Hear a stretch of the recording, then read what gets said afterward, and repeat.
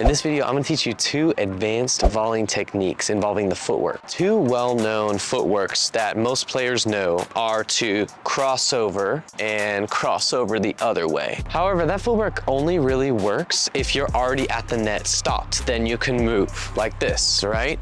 If you're already moving, you need to use a different footwork pattern because if you're moving forward, you to stop and then do this, and you can't move forward after that. Now, my first tip for the footwork is if you're on offense. You're going to hit the ball and move your right leg, if you're a righty, behind your other one. You're gonna step through like that. You'll see Medvedev doing this on his backhand all the time, and this is super effective on the volleys because you get to keep moving forward. And the closer you get to the net on your volleys, the more time you'll take away from your opponent. So this is what the footwork looks like on the forehand, you just keep moving forward as you hit it. Now on the backhand, it's the same footwork.